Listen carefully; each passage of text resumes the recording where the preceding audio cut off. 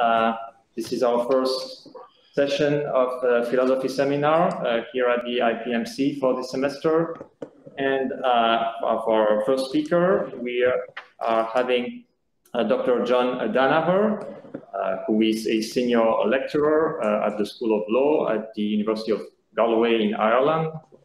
And John has published very widely over the past few years on topics uh, involving legal and philosophical ethical issues raised by emerging technologies, has published an impressive number of papers on this. He is the author of the book uh, Automation and Utopia, Human Flourishing in a World Without Work, which was published by Harvard University Press in 2019. Uh, he uh, has addressed issues such as uh, the way uh, new technologies like virtual reality and, and automation can uh, affect uh, meaning in human life and uh, also uh, things such as the, the threat of governance by algorithms or what, what he's called algocracy and how this can potentially threaten the political legitimacy of decision-making processes and, and other values. I've been uh, reading his work uh, quite a lot recently, uh, and if you're taking my classes in philosophy of AI, you will either you will have read some of his work or you will in the future. I can also mention that, as he just explained to us, now he has two blogs, uh, not uh, two podcasts. Uh, my apologies. Has a blog which is called Philosophical Disquisitions, where he addresses many of the, the, the topics related to his, his research with various interest. Uh, uh, and, and he has a first podcast, which is also uh, focused on those issues, uh, and uh, a second one, which is focused on the ethics of academia. So he's you know, uh, very productive, and we are very lucky to have him today as our first speaker. So, John, without further ado, the, the floor is yours. Welcome to the seminar. Okay, thank you very much for that, Alexandra. Um, can people hear me okay? I'm coming through loud and clear, right? All right, okay. So I'll start sharing my slides. I think uh, when I do this, I mightn't be able to see you. So if there's any issue along the way, if something's not, if, if it's not advanced or there's a pause, you just uh, say it to me and I'll be able to uh, hear you. Um, okay, so let me try this here. Why is that? Why is that not working this time? Okay, so it is working this time. Okay, sorry, a bit of a delay. Um, let me just pull this up here. Okay, so this is a talk that is based on a paper that I co-authored with a colleague from Norway, uh, Henrik uh, and uh, it's about the mechanics or mechanisms of techno-moral change. So what I'll do at the outset is I'll just explain a little bit about the rationale or purpose behind this paper, the uh, the debate or the literature within which it sits, and then I'll go into discussing um, the kind of results or the various mechanisms that myself and Henrik talk about. Uh, I mean, I'll say at the outset that I mean, I hope you find this talk interesting, but th this isn't a particularly argumentative talk. I don't have uh, a, a, kind of argument that I'm defending with a series of, of premises that you can challenge or dispute.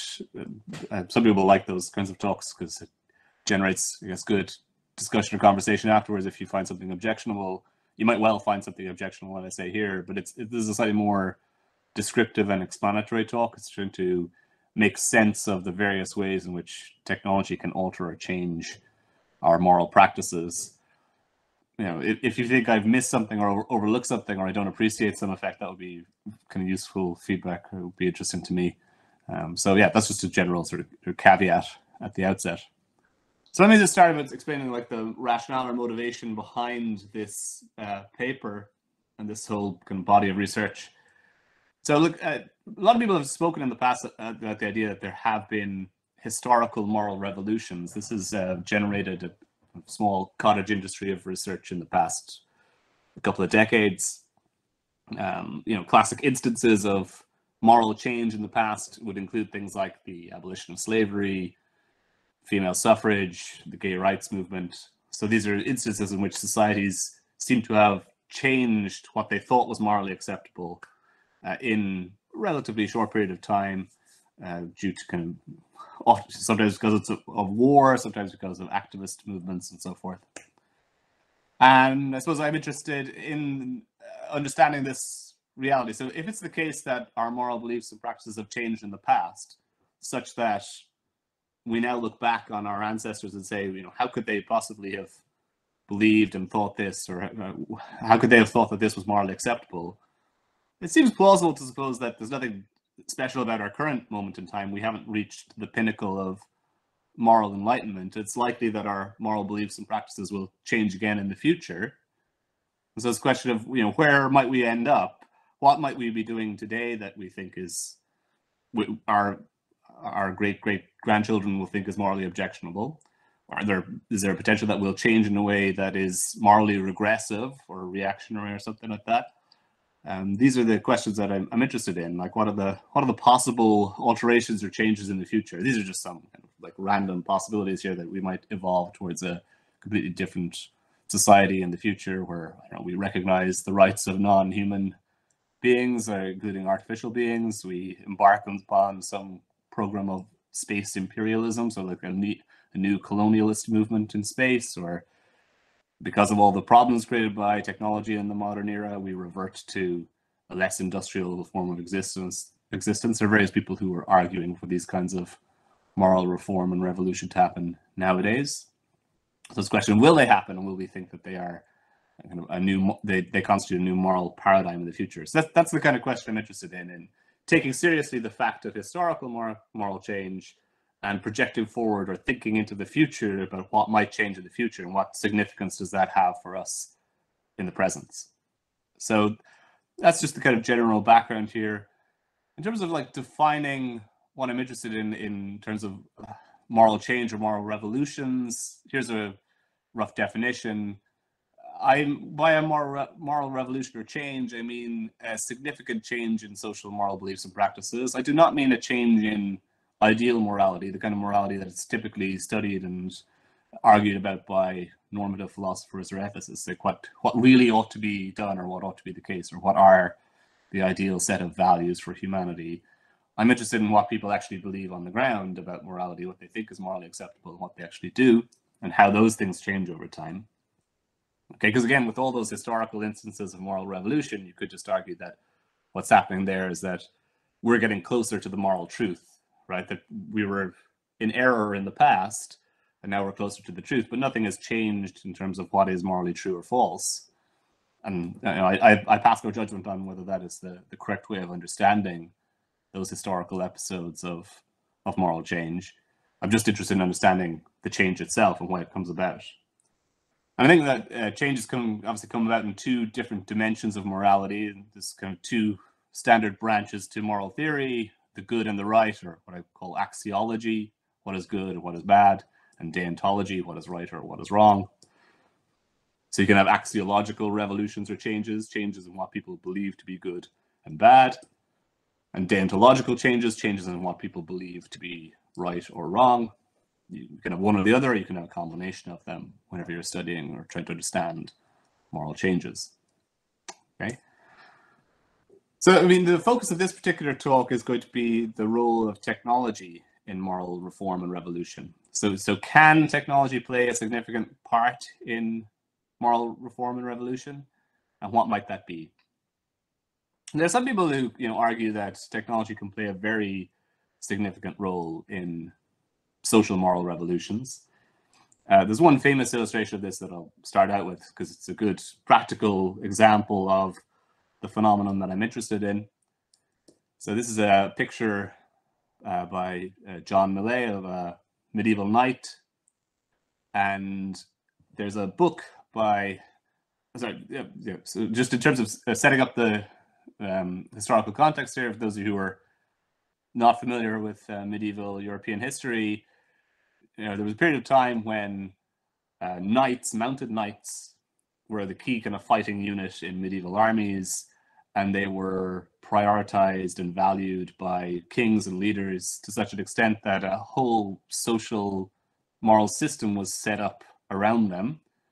which is usually described in terms of this thing, the feudal pyramid. It's a this was uh, basically the order of medieval European society, where you had a king who sat at the top of the social order, who granted land to lords and vassals, and they granted territory to knights. Knights controlled large estates, and everyone on that estate worked to serve the knight uh, and to you know equip him, to tra- uh, help him have equipment and food, and uh, enable him to train and be ready to serve in the army of the king.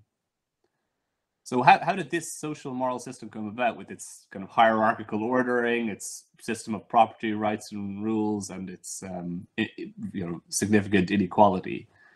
Well, there's an argument from um, a historian called Lynn White Jr., which claims that this bit of technology here that I display on screen, and for those who are not familiar with it, this is a, a stirrup for a horse. So you know, these are things that you, you stand into if you're riding a horse. It allows you to um, basically maintain your balance on the horse uh, without having to kind of use the power of your own uh, legs or and also to stand up if needs be. And this was a key technological innovation that made mounted knights uh, a significant and useful fighting unit. This is how Lynn White Jr. describes it in his book, Medieval Technology and Social Change. He says the stirrup, by giving lateral support in addition to the front and back support offered by pommel and cantle, those are other parts of the saddle, effectively welded the horse and rider into a single fighting unit capable of violence without precedent. The fighter's hand no longer delivered the blow, it merely guided it. The stirrup thus replaced human energy with animal power and immensely increased the warrior's ability to damage his enemy. Immediately, without preparatory steps, it made possible mounted shock combat, a revolutionary new way of doing battle. So it essentially allowed knights to um, hold these large um, spears, lances, and drive them into their enemies using the power of the horse, not their own kind of human power to do that. And that made them a very kind of, I guess, a, a kind of medieval equivalent of a weapon of mass destruction or something like that. And this was such a significant revolution that it led to the valuing of the knight and the creation of the, the feudal society or system. That's Lynn White Jr.'s thesis. Is, so it's this one technology caused this significant social moral change. Now, you know, there's lots of dispute about Lynn White Jr.'s thesis as whether it's accurate. It's very technologically determinist. But I think he's probably correct to say that the technology, the stirrup, did play some significant role in making knights more valuable, and that played some significant role in changing the social moral order in medieval society. So that's one historical example of a technology that seems to change a social moral practice. What are the other examples? What and how does it all work? That's what I'm interested in. And there's a theory that I use to explore this or understand this. It's been developed by a number of philosophers of technology, which is that you know technology doesn't isn't the sole cause of change, but it is a key mediator of change. So uh, Dutch philosopher Peter Paul Verbeek makes this argument specifically in relation to the moral effects of technology. He's developed this theory of the technological mediation of morality, which claims that this uh, technologies in use, as he says here in this quote, help to establish relationships between human beings and their environment. And in these relationships, technologies are not merely silent intermediaries, but they are active mediators that help to constitute the entities that have a relationship through the technology. So by organizing relations between humans and the world, technologies play an active, though not final role in morality. Uh, I don't know if is somebody saying something to me or, is, or that was just somebody joining the talk. It, okay, sorry. There was a notification that just popped up. Um, so the, the, key, the key sorry? No, no I think, uh, sorry, just maybe I mentioned if people have questions, could you bear, in mind, bear them in mind or write them down, but wait until the end of the talk. Uh, maybe that's the best way to proceed. Sorry, John. Please go on. Yeah, it's it's, uh, it's more that I can't see the the chat as I'm going through this. Um, yeah. Yes, so, someone just raised their hand. Yeah, it's okay. Okay. Um, so I mean, the, the key point in, in, Peter Paul Verbeek's idea is that uh, technology is not value neutral. That's I guess the point he's making here. It's not a it's not a silent intermediary. It's not merely an, a tool of human agency, but it has some kind of active role in shaping or reconstituting our understanding of moral values and moral practices. Uh, but but the key point as he is in that quote there is that it plays an active but not a final role. So it's, it's not the sole determining factor, but it is an active participant in changing moral practices. So that's what I'm interested in figuring out is what what active role can technologies play in changing uh, moral beliefs and practices in facilitating or precipitating moral revolutions. Okay. Now, why why would you care about this phenomenon? Why would you want to work out what the mechanisms of techno-moral change are? Maybe this is obvious to many of you, but it's worth being specific about it. I think there's like two main rationales behind the paper that I wrote with Henrik. Uh, one is a, I guess, a practical or normative rationale, is that I want to try and predict and anticipate possible future changes or ongoing changes, and potentially offer practical guidance to designers or policymakers who are interested in how technology might affect future morality. And it's worth bearing in mind here that the stakes are very real when it comes to this uh, topic because there are people who create technologies that claim that it is reshaping or changing our moral practices in a significant way. You know, notoriously, Mark Zuckerberg is is usually uh, claimed to have said the following, and back in 2010, that privacy is no longer a social norm because of technology. That you know people are willing to trade privacy for the digital convenience of um, social media and different online services. Now it turns out like he didn't exactly say this. This is sort of a, a simplification of what he actually said. He, he's actually said something like this, which is that people have gotten comfortable sharing more information and different kinds of information. And the social norm of, of privacy is something that's evolving over time. So we're evolving away from privacy as a norm or right. That's his claim. So he's making that claim on behalf of his technology. There's many people who resist it. Okay, but the point here is that there are people creating technologies that are claiming that they are shifting or changing our moral priorities. And so it seems like we might want to try and understand that, predict it, anticipate it, and if, if needs be, stop it or encourage it. So that's the practical rationale. There's also then a scholarly rationale behind this particular paper, this attempt to present a taxonomy of the mechanisms of moral change which is that there's lots of individual case studies being done and uh, you know articles about specific technologies and the potential changes that they might bring about. There's very little attempt at systemizing or bringing order to uh, those different case studies, to seeing if there are common mechanisms and if there are common patterns to moral change. So that's one of the rationales here is to unify and bring order and systematization to the scholarly debate about techno-moral change. All right, so that, that's all sort of just setting the stage as to why I'm looking at this topic, why I think it's important. In terms of the kind of substance of, of this paper, then the, the thesis, such as it is, that myself and Henrik came up with, is that we think there are six primary mechanisms through which technology changes social moral beliefs and practices, and that these mechanisms can be categorized into three domains. Decisional, so they affect how we make decisions, relational, they affect how we relate to other people, and perceptual, they affect how we perceive and understand the world. And what I want to do is I, I'm going to walk through these six mechanisms. I'll give examples of technologies that seem to be changing moral beliefs and practices in each of these um, domains.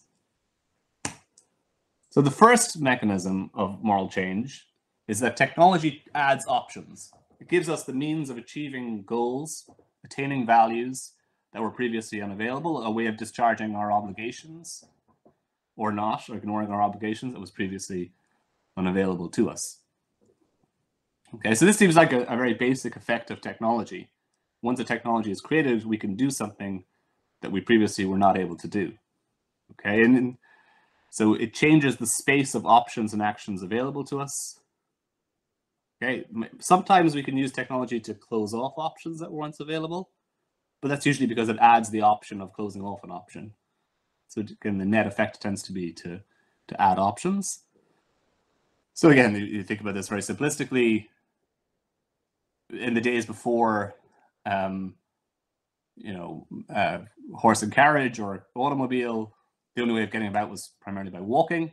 So if you wanted to visit a friend of yours, you'd have to walk to their house. You, you didn't have any choices. You just had one option available to you.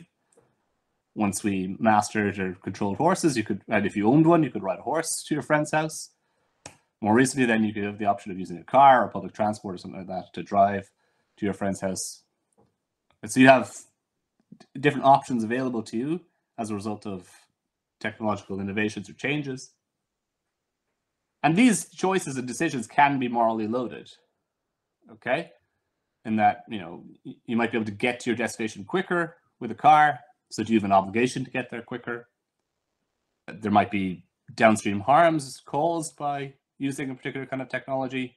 It might add to pollution. It might add to traffic congestion. So do you have an obligation not to use the technology as a result of those changes? So by adding options, you're changing the moral calculus of decision making. Okay, here's a couple of other examples. With the invention of the smartphone with internet connectivity and um, social media has given us all now an option when we're out and about of uh, kind of on, constant online distraction, right? So instead of just sitting silently with your thoughts when you're riding on the train or, um, you know, going for a walk, you now have the option of distracting yourself in some way. So should you exercise that option? Is that, that a good or bad thing? Is it virtuous? Or when it comes to responding to people, okay, should you respond to work emails now that you have your phone on you at all times and you have the option of doing so? Or do you have an obligation not to do so because it creates a norm of responsivity that uh, other people feel obliged to live up to? That's not fair to them. Here's another example, and this is one that's kind of well studied in the academic literature. There's a couple of people who've written about it. The invention of the mechanical ventilator created a new moral dilemma or question. Is it permissible to keep someone alive after brain death to facilitate organ donation? Before the invention of that technology, we didn't have that option. Okay, it wasn't uh, something that was uh, available to us. But with the invention of the technology, it became a possibility. And the question was whether it was permissible. So Robert Baker and Philip Nichol have written about this extensively.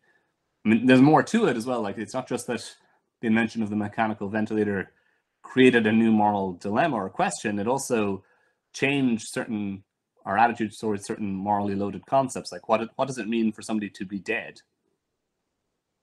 Right? Is the idea or the concept of brain death came in largely in tandem with the invention of mechanical ventilator. So that's a, a technology that had a significant impact on moral beliefs and practices by adding options, adding choices to our lives. So that's the first mechanism. The second mechanism, and is sort of closely related to the first one, is that when it adds options, it also changes decision-making costs. It makes it both harder and easier to access certain values or to do the right thing. Okay, here's a case study. And th this is probably one of like the best studied um, examples. There's lots of papers written about the moral effects of contraceptive technology. So what, what impact did the invention of you know, safe and effective contraception, particularly the contraceptive pill, have on the ethics of extramarital sex? Now, I use the term extramarital sex uh, for kind of odd reason, but for the most part, it, the interest here is in premarital sex, the sex that people had before they got married. So the most of the data or studies here are based on US information. So there's a couple of economists, Jeremy Greenwood and um, Guner is the, the surname of the other person, but Jeremy Greenwood has written a book about this, about the kind of moral effects of certain technologies on family life, including sexual relations. And so in that book, they look at data based from the year 1900 about uh, what were the odds of of a woman being becoming pregnant um, if they had uh, sex in any given year without contraception or, or with any available means of contraception in the year 1900. So there were some primitive forms of contraception available in 1900. So they found is that um, without contraception, there's about an 85% chance of pregnancy in any given year. And with the available methods of contraception, there's still about a 45 to 50% chance of contraception in any given year. So when it comes to the decision to have sex outside of marriage, uh, pre uh, pre the invention of the contraceptive pill, there's kind of a, a significant risk of an, of an unwanted pregnancy or and a pregnancy that would have somewhat deleterious or difficult um, social consequences for the person in question, uh, either through kind of shame or uh, forced marriage or something like this. Um, so that, that for many people that meant that the kind of the benefits of having sex outside of marriage uh, were significantly outweighed by the cost of doing so. So very few people did at the time, and they, they look at the data on this as well. Um, so it's a, a minority of women specifically uh, availed of that option in the year 1900. Then fast forward to the year 2000, post the invention of latex condoms and contraceptive pills. And suddenly the, the calculus has changed fairly significantly. The, the actual chances of having pregnancies seem to have reduced to below 10% in many cases. Um, and, and if people use the contraceptive pill correctly, they take it on a regular basis, the risk is even lower than that. So the advantages, advances in contraceptive technology dramatically reduced the costs associated with having sex outside of marriage, in terms of the social costs, the shame, and so forth. Um, and presumably made the benefits of that more salient.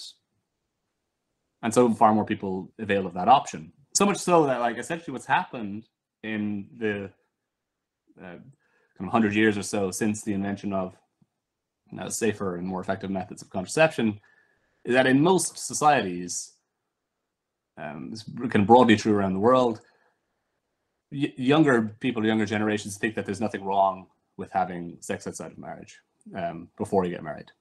Okay, and e even in countries where there are religious institutions or social institutions that are opposed to that practice, they're almost universally ignored.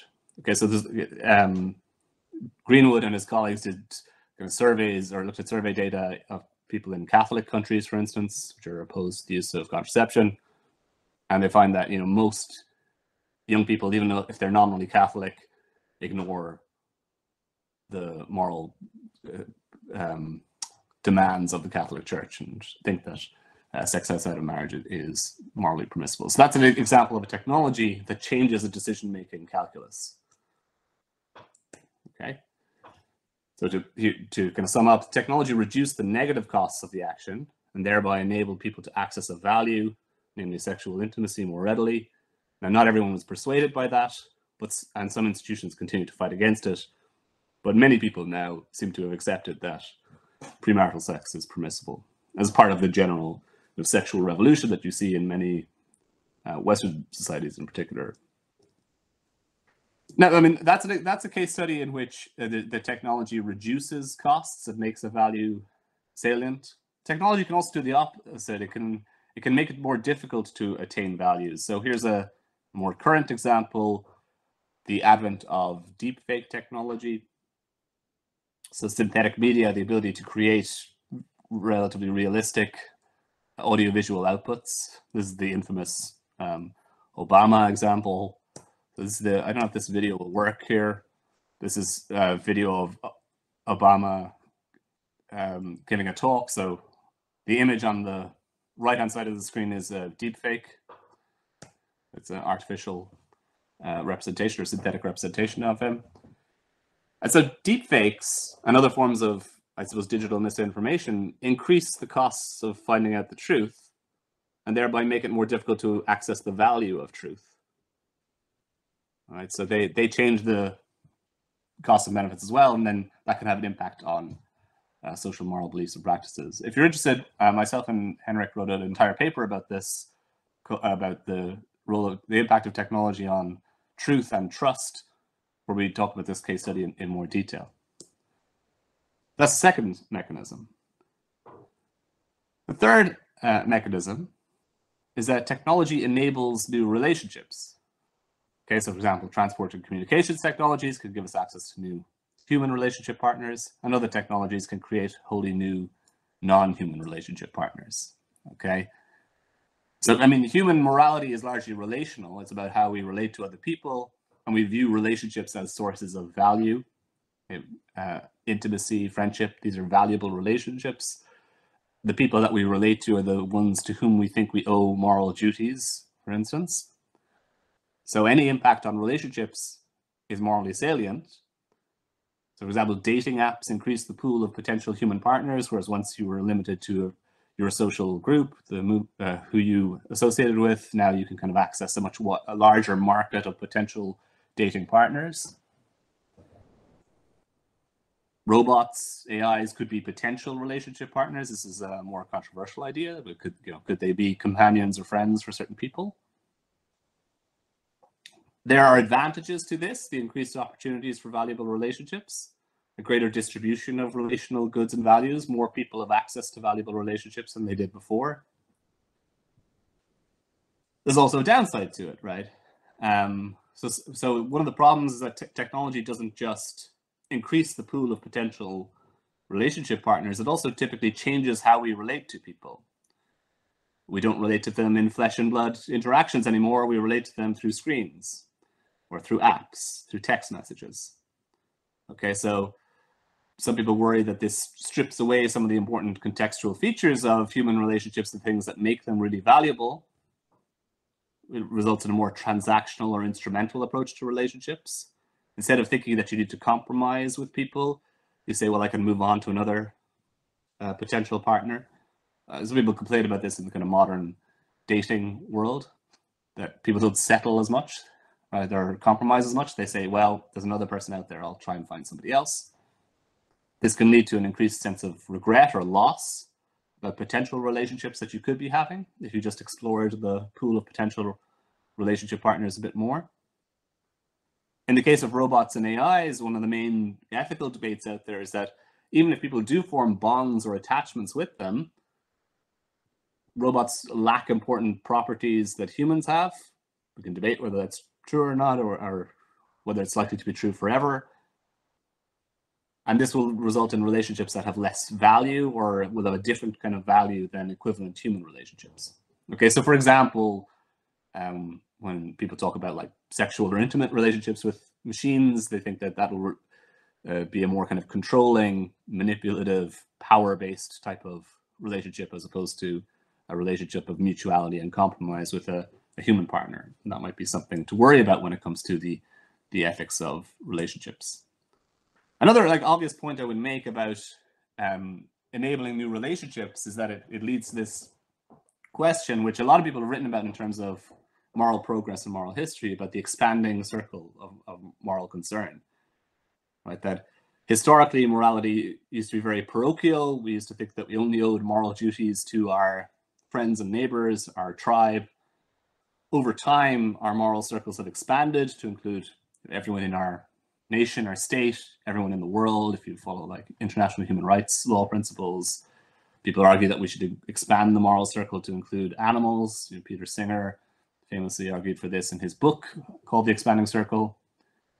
And uh, some people now argue, well, will we include artificial others in the expanding moral circle too? So it, uh, it by enabling new relationships, we tend to automatically raise this new moral question about whether the moral circle expands or not. Okay, so that's the third mechanism. The fourth mechanism, and this is all kind of still within the relational domain, is that in addition to adding new potential relationships, technology changes the burdens and expectations within relationships.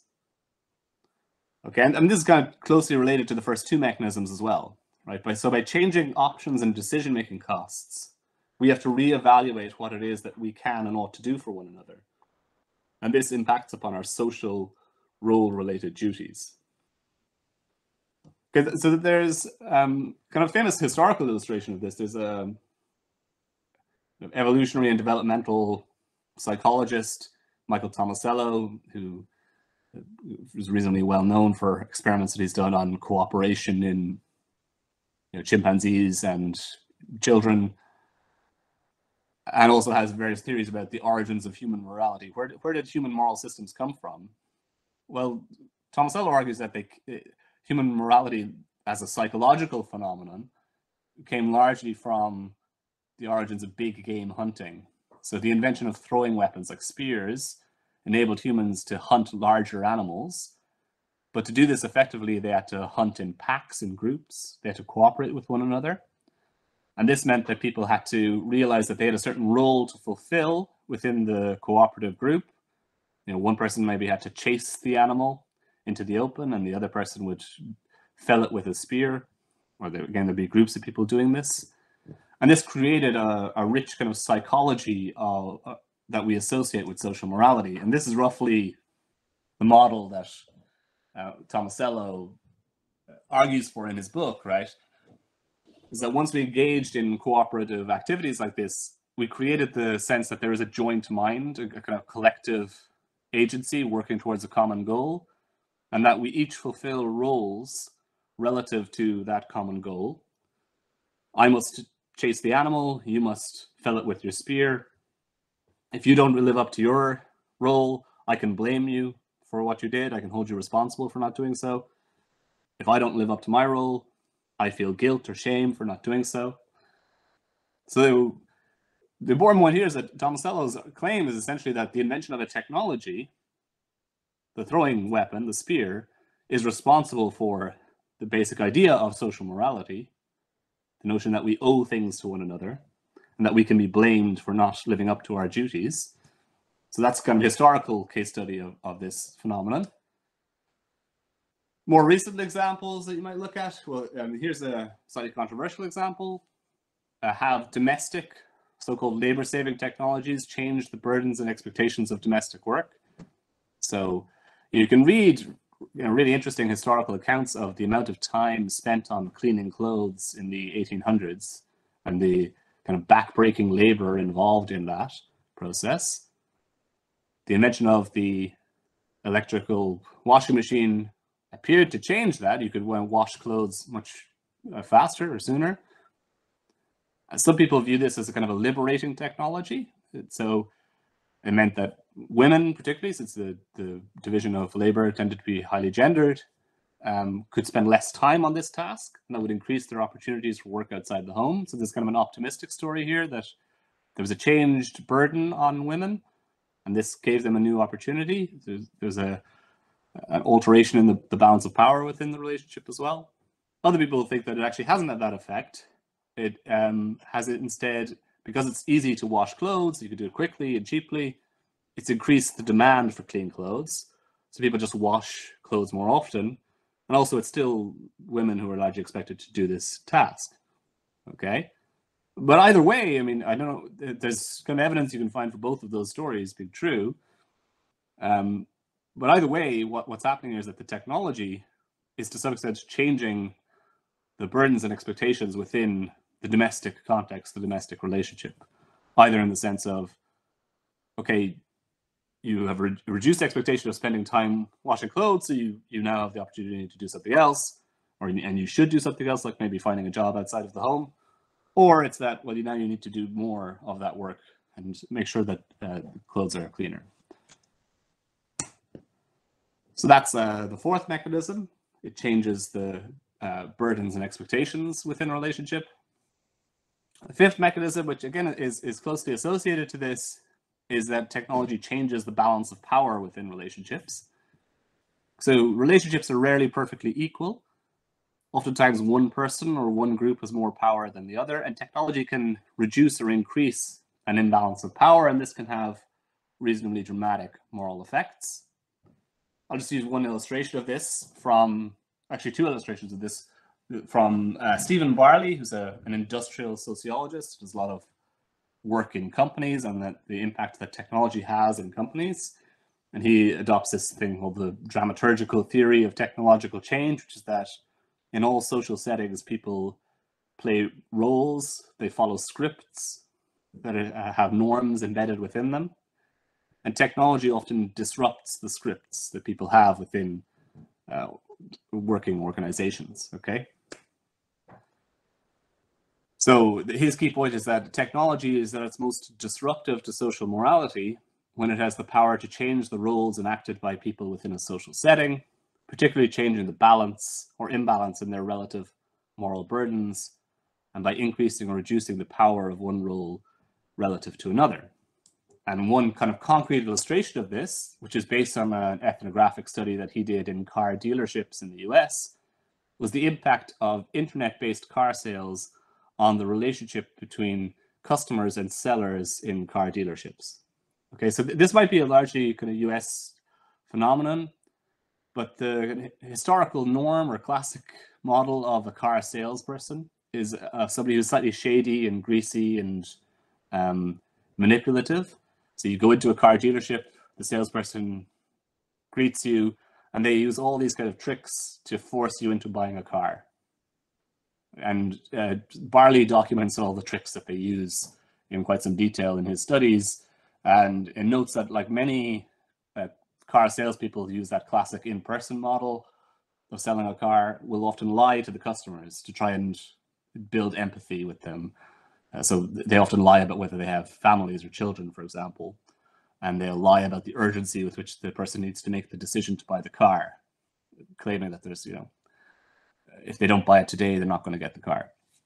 Okay, so the, the, the classic model is a, a highly unequal one.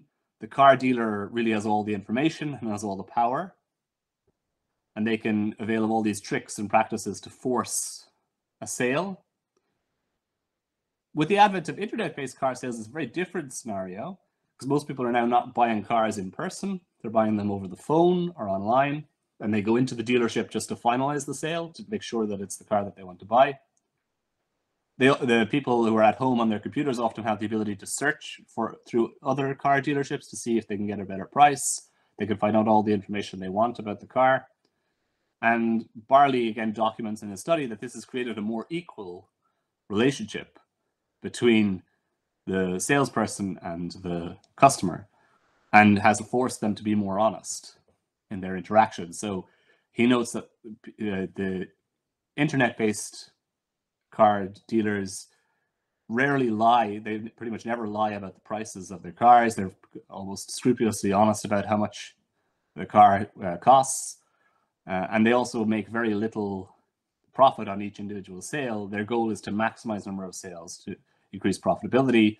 Whereas in the old model, the goal was to increase the margin of profit on each individual sale. So the internet here has changed the balance of power and changed the kind of norms or moral rules that are followed by the different parties. Uh, here's another kind of like illustration of this, which um, this is just more my idea than um, based on any kind of study. But like, what's the impact of automation and like AI-based assistance on human social relationships and hierarchies?